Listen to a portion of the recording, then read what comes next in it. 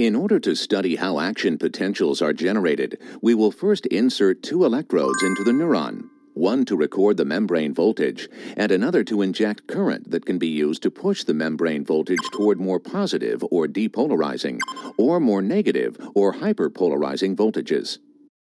Let's look at what happens when our model neuron is stimulated. The first two stimuli shown here are insufficient to depolarize the membrane past the threshold level.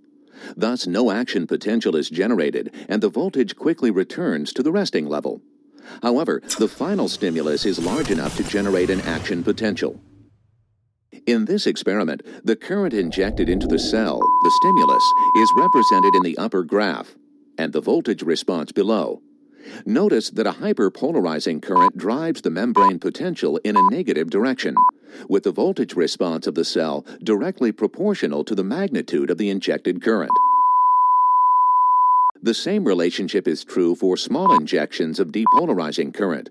The voltage response of the cell is directly proportional to the magnitude of the injected current. If the stimulus is sufficient to push the membrane potential past the firing threshold for the neuron, such as the second stimulus in this example, then an action potential is generated. Depolarization of the membrane past threshold sets in motion changes in membrane conductances that eventually leads to generation of the action potential. Note that the action potential is an all or none event. Once generated, its amplitude does not vary as a function of the size of the preceding stimulus.